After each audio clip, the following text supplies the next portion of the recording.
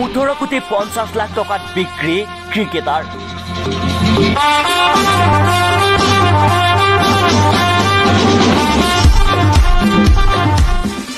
আই P L নিলামত বিক্ৰী হ'ল আশীগৰাকী ক্ৰিকেটাৰ। এশ সাতষষ্ঠি কোটি টকাত বিক্ৰী আশীগৰাকী ক্ৰিকেটাৰ।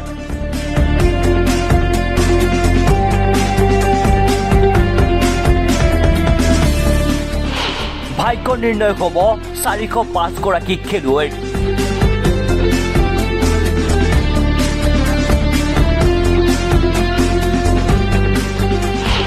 য'ত আছে দুশ তেসত্তৰ গৰাকী ভাৰতীয় খেলুৱৈ এশ বয়ত্ৰিশ গৰাকী বিদেশী খেলুৱৈ।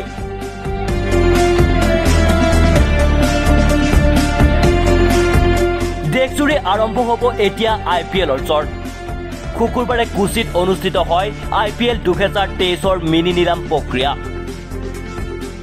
এই বছৰৰ আই পি এলত নিলামত অংশগ্ৰহণ কৰিছিল মুঠ চাৰিশ পাঁচজন ক্ৰিকেটাৰে। ইয়াৰে এশ তেপন্নজন ক্ৰিকেটাৰৰ নাম আছিল নিবিদাৰ বাবে। এশ তেপন্নজন ক্ৰিকেটাৰৰ আশীজন ক্ৰিকেটাৰক ক্ৰয় কৰে দহটা ফ্ৰেঞ্চাইজিয়ে। উল্লেখ্য যে আই পি এলৰ সৰ্বকালৰ অভিলেখ ভংগ কৰি ইংলেণ্ডৰ অলৰাউণ্ডাৰ তথা দুহেজাৰ বিছ একৈছৰ আই পি এলৰ ছিজনত চেন্নাই ছুপাৰ কিংছৰ হৈ খেলা। চেমকৰণ আই পি এলত হ'ল ব্যয়বহুল বিক্ৰেতা।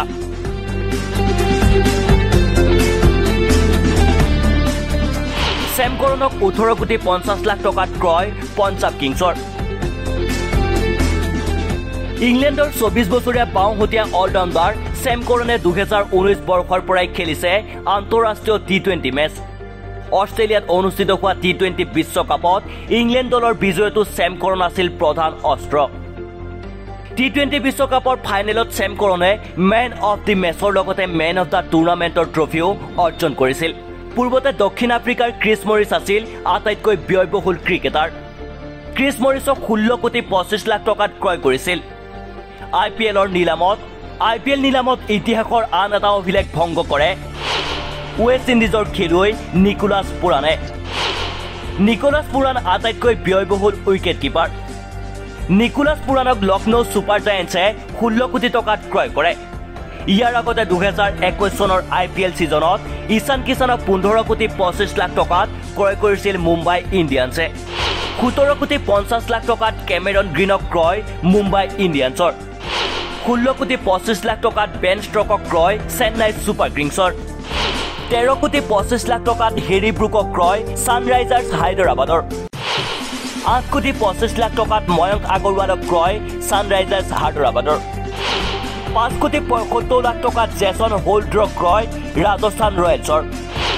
পাঁচ কোটি পঁচিছ লাখ টকাত হেনৰিক ক্লাছেনক ক্ৰয় ছানৰাইজাৰ্ছ হায়দৰাবাদৰ।